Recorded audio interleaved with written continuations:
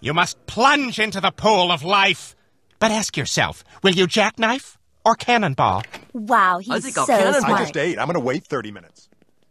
Did you see that, Hayley? They respect me. Roger, your lecture today was just a bunch of idealistic nonsense. Oh, really? You just earned yourself a week of detention. There's no detention in college. Oh, right.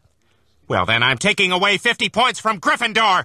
Oh, sorry. I'm, I'm interrupting. No, just a lively exchange of ideas. I, I just wanted to tell you how inspiring you are, Professor. It's like I've been asleep my whole life, and now I'm finally awake. Oh, I'm awake too. Totally awake. It's like I'm on crank. I'm so awake. Exactly. Huh.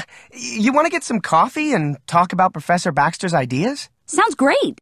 Later, Professor. I pretend to teach them, but it's really they who pretend to teach me.